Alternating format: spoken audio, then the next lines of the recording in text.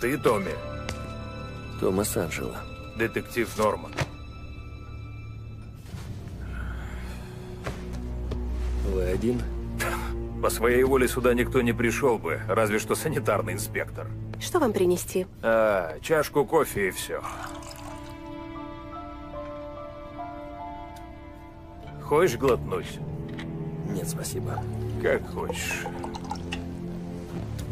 Итак, по телефону ты сказал, что есть предложение ко мне. Все так. Учти, если тебе надо подмазать копа, то ты не по адресу. Мне не нужны никакие партнеры. Хорошо. Я на мели. Даже на кофе не хватает.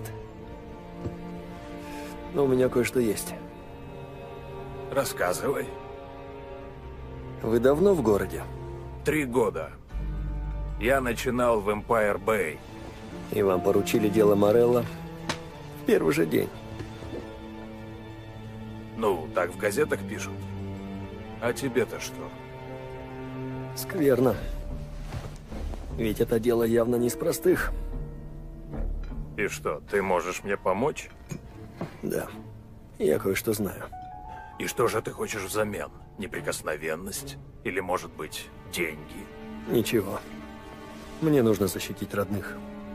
А, семья.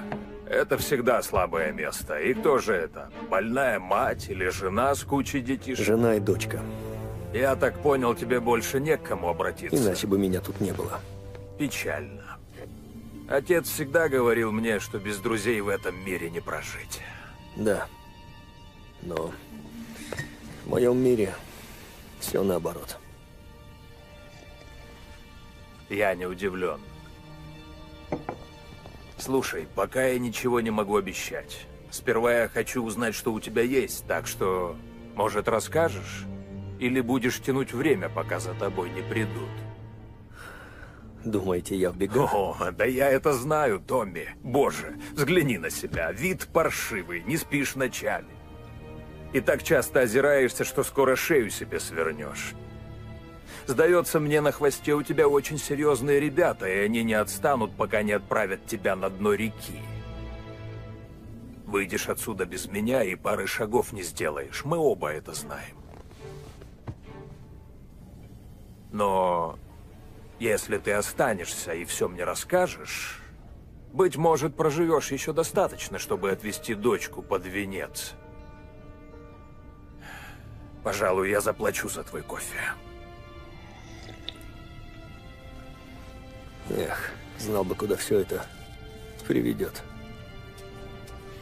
Никогда не знаешь, что ждет за поворотом. Но ведь ты не родился с револьвером в руках. Нет. Я был таксистом еще в 30-м.